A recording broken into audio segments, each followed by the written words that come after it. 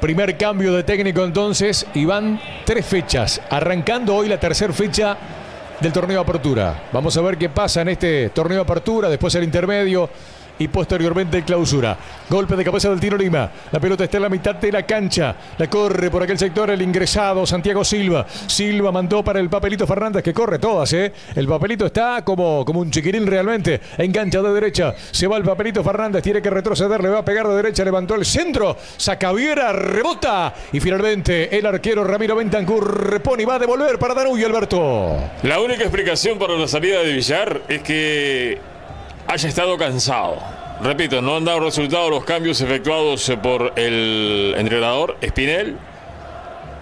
El técnico es el técnico. Yo, entrenador, lo hubiese mantenido a Villar. Es un goleador, evidentemente. Por ahora, poco lo de Facundo Rodríguez.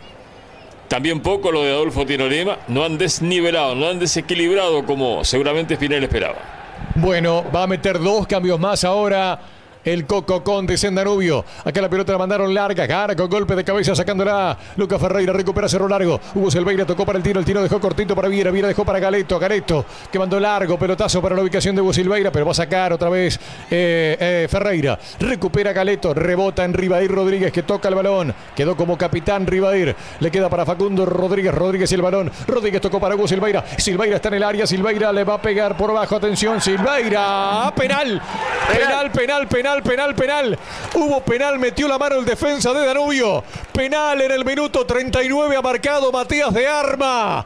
Penal para Cerro Largo en una jugada tonta realmente acompañaba allí el jugador Hugo Silveira y el defensa, si no me equivoco, es Lucas Ferreira el que metió la mano. Ya lo voy a confirmar con Rodrigo y también con Jonathan. Qué momento del partido, Alberto. Y viste que nadie protesta, ¿eh? Como que asume el error Danubio y acá la posibilidad de marcar el gol y cerrar el partido. Bueno, Martín Rea fue el que metió la mano.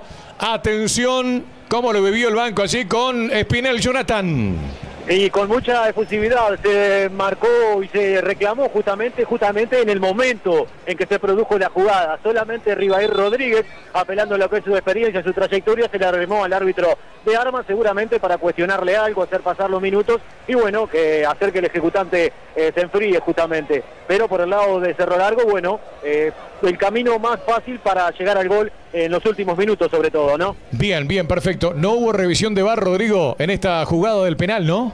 No, no hubo, no hubo, no hubo. Bien, está Hugo Silveira para rematar. Atención, cerro largo en el arco de la Darlil Mujica hacia los talleres municipales donde hacia el centro de la ciudad donde están ubicados precisamente los simpatizantes de Danubio. Hugo Silveira que queda dentro del área no sale fuera del área mayor.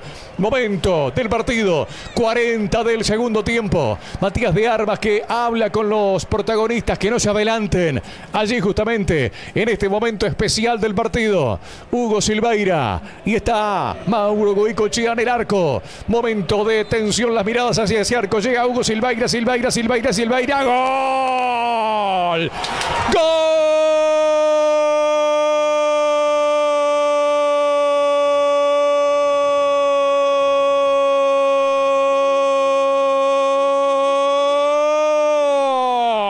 Arachán de Cerro Largo. 41 minutos. Allí estaba Hugo Silveira. La acomodó hacia el caño izquierdo de Mauro Goicochea que eligió el derecho. Y al minuto 41, Hugo Silveira que vino para hacer goles de penal. Cambia por gol, gana Cerro Largo sobre Danubio 1-0. Un gol que puede tener un valor de tres puntos. Muy bien, Hugo Silveira. Esperó que se moviera Mauro Goicochea hacia su Remató fuerte abajo.